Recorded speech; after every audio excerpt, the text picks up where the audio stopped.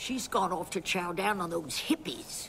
She's probably lounging at the nearby campsite.